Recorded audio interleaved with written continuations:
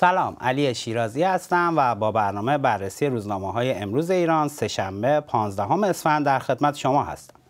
پیش از اون که برنامه را آغاز کنیم به اطلاعتون میرسونم که سه تن دیگر از خبرنگارانی که در تاریخ 8 اسفند توسط وزارت اطلاعات بازداشت شده بودند امروز آزاد شدند. این خبرنگاران نسرین تخیری ساسان آقایی و سبا آذرپیک هستند.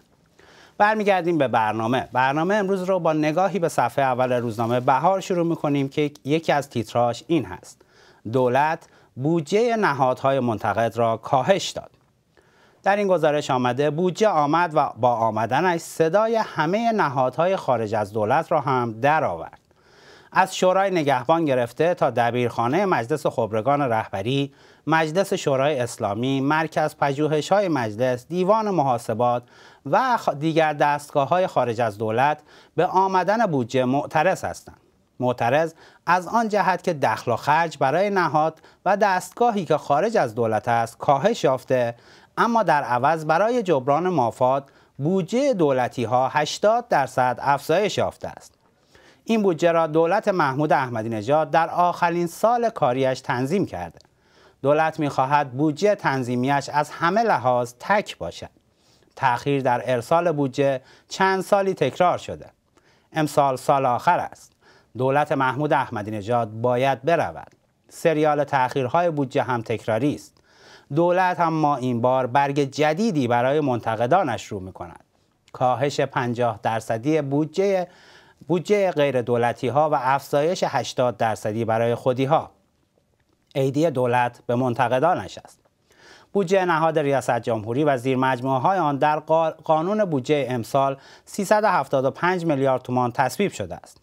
طبق آنچه از قبل پیش بینی شده بود و رقم 375 میلیارد تومانی برای نهاد ریاست جمهوری باید کل سقف بودجه دولت برای سال آینده 20 درصد افزایش میافت اما با حساب و کتاب دولت 375 میلیارد تومان دولت به 682 میلیارد تومان جهش داشته است یعنی رشدی حدود 80 درصد نسبت به رقم بودجه نهاد ریاست جمهوری در سال 91 البته دولت توضیح نداده که چرا به یک باره بودجه دولت را به جای 20 درصد 80 درصد افزایش داده است. این افزایش 80 درصدی آن هم در نهادهای وابسته به ریاست جمهوری در حالی است که تورم و گرانی انگار پایش را از نهاد ریاست جمهوری بیرون نگذاشته است. اگر دولت 80 درصد بودجه خود را افزایش داده در عوض 50 درصد بودجه نهادها و دستگاه های خارج از دولت را کاهش داده است.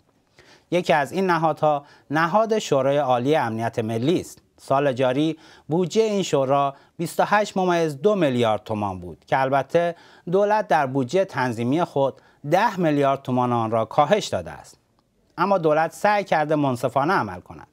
10 میلیارد تومان کسب شده از شورای عالی امنیت ملی را به دبیرخانه جنبش عدم تعهد که اتفاقا ریاستش را اسفندیار رحیم مشایی عهدهدار است اختصاص داده است اما خبر دیگر روزنامه بهار در صفحه 3 این تیتر رو داره. آمانو خواستار امکان دسترسی فوری آژانس به پارچین شد. نشست فصلی شورای حکام دیروز آغاز به کار کرد. طبق معمول با تمرکز بر برنامه هسته ایران.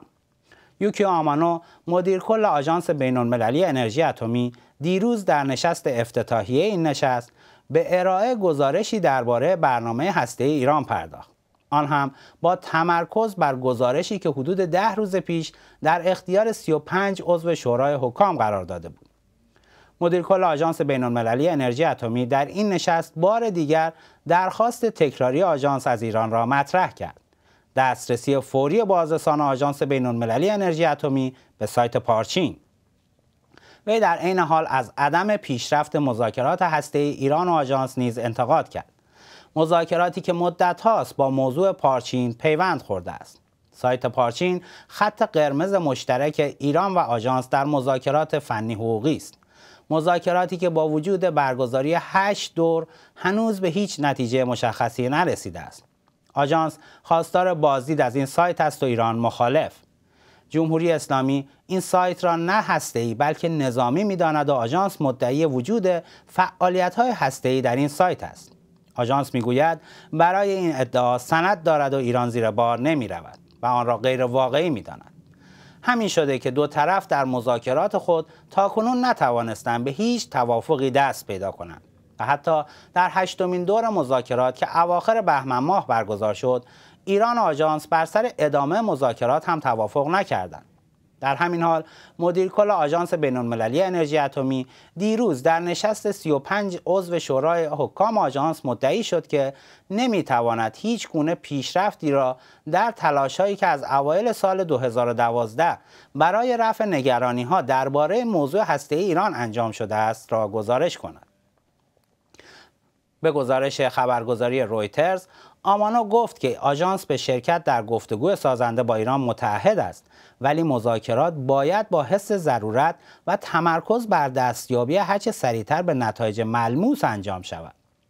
مدیر کل آژانس در ادامه مدعی شد که ارائه دسترسی به سایت پارچین می تواند گامی مثبت باشد و به نشان دادن تمایل ایران برای تعامل با آژانس در زمینه نگرانی های اصلی کمک کند. در صفحه اجتماعی هم این تیتر جلب نظر می‌کنه. اعتراض سخنگوی شورای شهر قوم به عملکرد احمدی نژاد. علمای قوم جلوی زیانهای مونوریل را بگیرند. شورای شهر قوم بار دیگر به اقدامات دولت برای ساخت یک خط مونوریل در این شهر اعتراض کرد. دیروز سخنگوی شورای شهر بار دیگر از عملکرد یک سویه دولت در پیشبرد این پروژه انتقاد کرد و این بار خواستار توجه ویژه علما، مسئولان و بزرگان استان قوم برای جلوگیری از ادامه زیان این پروژه در مقابل آستان حضرت معصومه شد. حسن بختیاری با تاکید بر اینکه موضع شورای اسلامی قوم در مخالفت با این پروژه از ابتدا مشخص بوده گفته شورای اسلامی شهر قم در آخرین مصوبه خود مخالف ادامه پروژه مونوریل در بالای سطح آستان حضرت معصومه بود اما ساخت این پروژه ادامه دارد و نتایج و آثار منفی آن روز به روز بیشتر آشکار می شود. به گفته بختیاری با ساخت ایستگاه های این پروژه اطراف حرم متحر از جمله ایستگاه میدان متحری و پل آهنچی طرحهای توسعه حرم متحر در بخش غربی حرم متوقف خواهد شد و ساخت مونوریل مقابل حرم متحر با سیاست توسعه فضای باز در اطراف حرم در تناقض است. به سراغ روزنامه شرق میریم که در صفحه سیاسی به صحبت‌های حبیب الله اسکرولادی در رابطه با مستند سرانجام نامبارک پرداخته که از سیمای جمهوری اسلامی پخش شد و در این باره میگه رئیس قوه مجریه از نظام میان امام و بنی صدر عبرت بگیرد پخش مستند نیم ساعت سرانجام نامبارک که اختلافات بنی صدر با مجلس و رئیس قوه قضاییه را بررسی می‌کرد واکنش های بسیاری در پی داشت و تفسیرهای متفاوتی از آن شد. پخش این مستند در حالی مورد انتقاد وبلاگ های حامی احمدی نژاد واقع شده که حبیب الله عسگراولادی دبیرکل جبهه پیروان خط امام و رهبری آن را درس عبرتی برای رئیس قوه مجریه دانسته است. عسگراولادی که روز گذشته در جمع نخبگان و برگزیدگان علمی و فرهنگی خانواده های تحت حمایت کمیته امداد امام خمینی در مجلس سخنرانی می‌کرد گفت این صحنه ها صحنه های واقعی بود که از صدا و سیما پخش شد. رئیس قوه مجریه باید از نزاع میان امام و بنی در عبرت بگیرد. لاریجانی در زمان مسئولیت خود در صدا و سیما این نهاد را به عنوان دانشگاه اسلامی به همگان معرفی کرد و دیشب نیز مجریان روشنفکر با توجه به شرایط زمان زمان حاضر توانستند صحنه های عبرت انگیز را در این راستا برای مردم پخش کنند. در همین حال شبکه ایران سایت نزدیک به دولت با اعتراض از سخنان لاریجانی درباره عسگراولادی نوشت رئیس مجلس که گویا از اظهارات عجیب عسگراولادی در هفته گذشته پیرامون سران فتنه که سیل انتقادات را حتی در خود حزب مؤتلفه روانه وی کرده بود راضی به نظر می رسید عسگراولادی را رجلی در تراز انقلاب دانست که باید نصایحش برای همه درس باشد این نخستین بار نیست که عسگراولادی قوه مجریه را با دولت بنی صدر مقایسه می کند. او آذر ماه سال گذشته هم گفته بود در یازده روز قهر احمدی نژاد کسی سراغ از ایشان نگرفت. بنی صدر هم همینطور شد. همزمان با اظهارات عسگراولادی هفته نامه شما ارگان حزب مؤتلفه در یادداشتی به تفسیر مختصات آنچه کودتای اجتماعی نامید پرداخت. شما می نویسد در یک کودتای اجتماعی شما با یک قانون شکن طرف نیستی که بگویی غلط می کنی که قانون را قبول ندارید بلکه خود را مجری قانون اساسی و مدافع آن دانسته و هیئت قانون اساسی تشکیل می دهد و در این حال می گوید قانونی را که قبول ندارم و به نفع مردم نیست امضا و ابلاغ نمی کنم. روزنامه مردم سالاری هم این تیتر رو امروز برای مطلب تنز خودش انتخاب کرده. توانایی تا کجا؟ محمد حسین روامخش امروز نوشته با کمال شور و شعف به اطلاع عموم هموطنان گرانقدر میرساند که معاون حقوقی تعذیرات حکومتی تهران اعلام کرده تا کنون 57 فروشگاه در تهران که اقدام به عرضه پسته گرانتر از عرف مصوب کردند به 47 میلیون تومان جزای نقدی در حق دولت و اختیاریه کتبی محکوم شدند. به این ترتیب تازه معلوم می شود که چرا گاهی دولت کمی تا قسمتی دیر به یاد تنظیم بازار می افتد. وقتی مردم پسته را گران می‌خرند و می‌روند معلوم است که دنبال پول اضافهشان نمیآیند و دیگر حقی ندارند. از طرف دیگر از قدیم گفتن حق به حقدار می‌رسد و حقدار در این میان کسی نیست جز دولت. آن هم به پاس زحماتی که در عدم پیشگیری از گرانی داشته. مردم بابت خرید گران پسته نه تنها نباید ناراحت باشند بلکه باید خوشحال باشند. که پولشان را بعد از یک دست گردش اضافی به دست دولت رساندند. از قدیم می‌گفتند از هر دست که می‌گیری از همان دست باید بدهی. به احتمال قریب به یقین خریداران پسته با همان دستی که ایدانه گرفته بودند دست به خرید پسته زدند.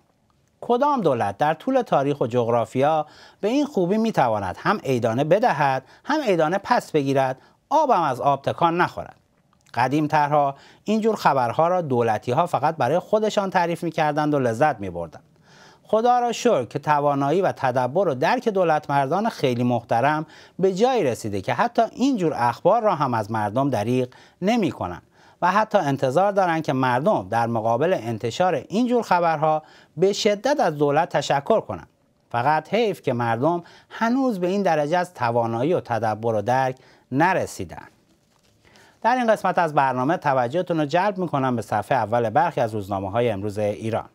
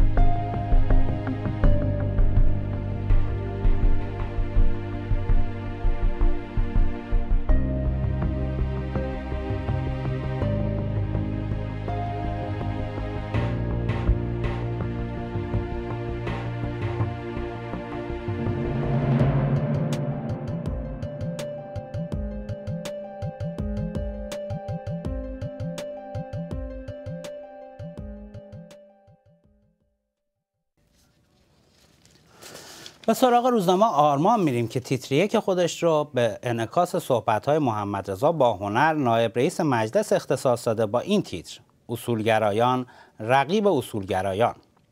دبیر کل جامعه اسلامی مهندسین روز گذشته درباره حضور کاندیدایی از سوی طیف دولت در انتخابات ریاست جمهوری آینده و میزان اقبال عمومی به این کاندیدا به آرمان گفت نظرسنجی ها متفاوت است. یعنی هنوز در نظرسنجی هایی که صورت می‌گیرد دولت 20 یا 30 درصد رأی دارد.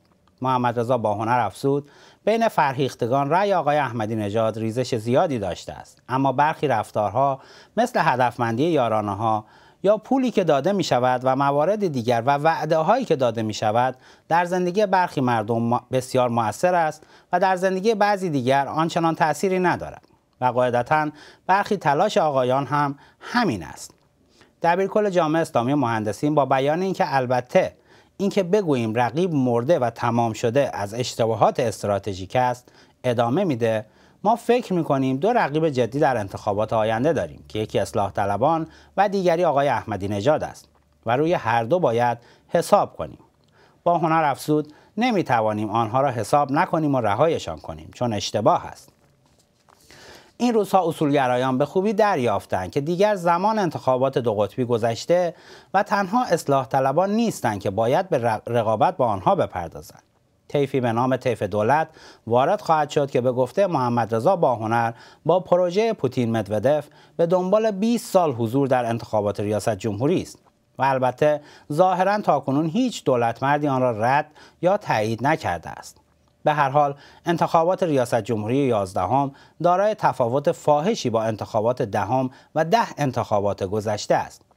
در حالی که اصلاح طلبان هیچ واهمه ای از وجود رقیب جدید در این رقابت که قرار است در خرداد ماه برگزار شود ندارند اما احساس می شود اصولگرایان به این موضوع می اندیشند که چگونه باید با این رقیب جدید رقابت کنند چرا که تا پیش از این و در انتخابات های گذشته حجمه به کاندیدای اصلاح طلب یک راهکار رقابت برای اصولگرایان بود که از سوی برخی از آنها اجرایی می‌شد.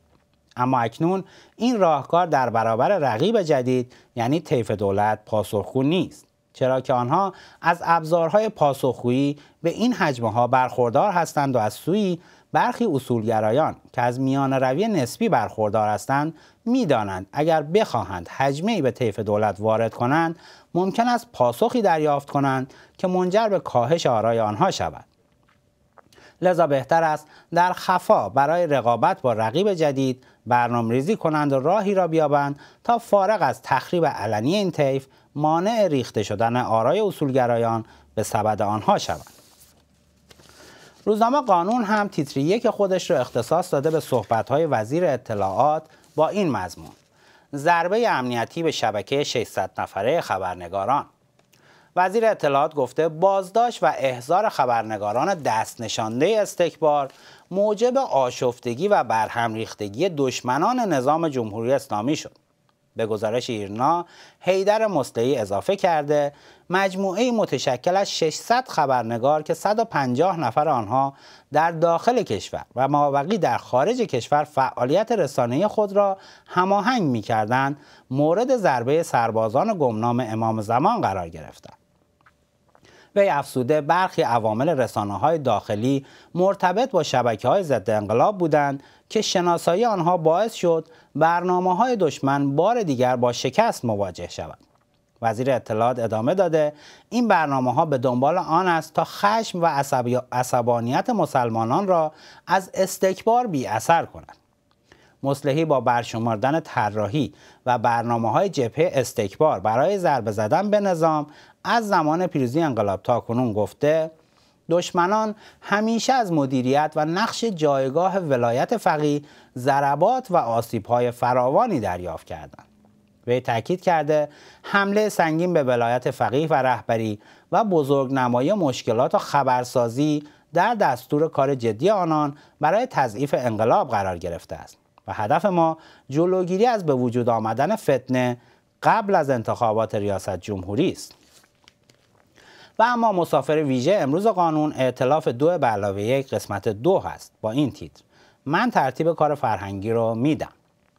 احسان پیربرناش امروز در ادامه مطلب روز یکشنبه نوشته حداد عادل جوری خودش رو روی صندلی عقب جابجا می‌کرد که انگار او و او ما را جابجا کرده. سپس بادی به هیکلش انداخت و گفت نگران تقسیم کار نباشید دوستان. من ترتیب کار فرهنگی رو میدم.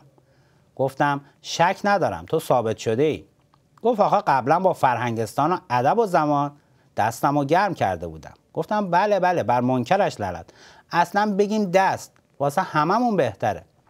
یکو خوشخوشا نشد و زد زیر آواز. یک فرهنگی من بسازم چل ستون چل پنجره. قالیباف که تا این لحظه ساکت بود و توی فکر فرو رفته بود گفت من از این دنیا چی می‌خوام؟ دو تا بال برای مزه یه مقدار فعالیت اقتصادی هم کنارش باشه بعدم نمیاد. آها چیپس هم باشه لطفا. می‌دونی آقای راننده من تشنه کارهای اقتصادی و زیربنایی هم. گفتم بعد از, بعد از این همه سال هنوز تشنه ای میگن از نخورده بگیر بده به خورده همینه ها. گفت نمی‌دونم چجوری بگم. اصلا خوراکم کار اقتصادیه. گفتم یعنی هر چی کار اقتصادی می‌خوری سیر نمیشی. گفت آفرین دقیقا همینه. یه وقتایی فقط این سر معدم میسوزه آقای راننده. گفتم اینا رو باید با آقای دکتر بگم جان. پزشکی در تخصص من نیست. ناگهان هر سه به یکدیگر خیره شدن. ولایتی گفت واسه ما ادای خارجی ها رو در نیار. فکر نکن می‌تونی با این حرفا ما رو اصلاح کنی. در تخصص من نیست یعنی چی؟ چرا اطلاعات تو از ما دریغ می‌کنی؟ گفتم به خدا بحث این حرفا نیست. واقعا تخصص ندارم. اونم پزشکی که دیگه خیلی حساسه. حداد عادل گفت لاقل می‌تونستی بگی یه استامینوفن مخوره که. اینم بلد نبودی؟ گفتم استامینوفن چه ربطی به معده داره؟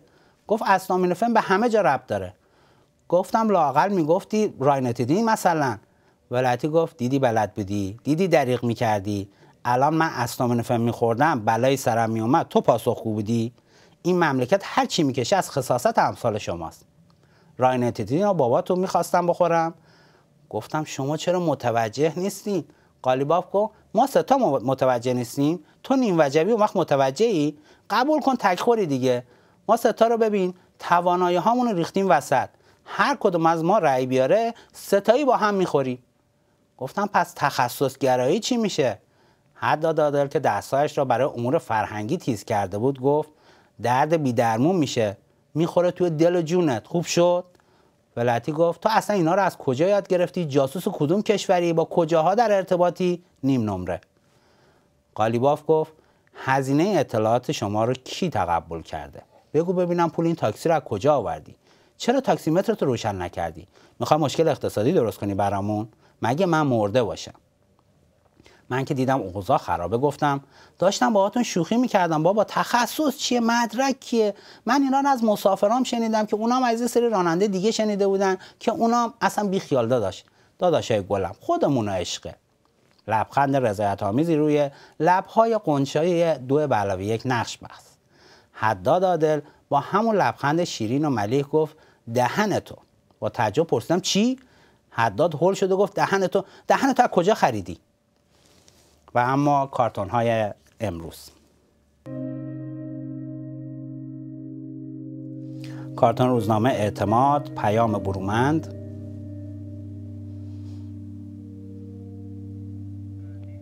کارتون روزنامه مردم سالاری کار علی کاشی.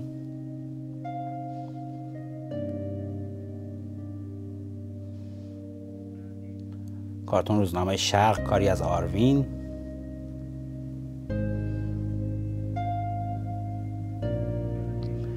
روزنامه قانون علی پاکنهاد.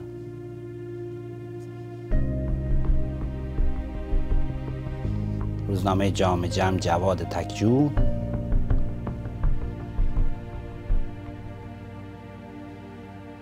و در پایان کارتونی از مانا نیستانی.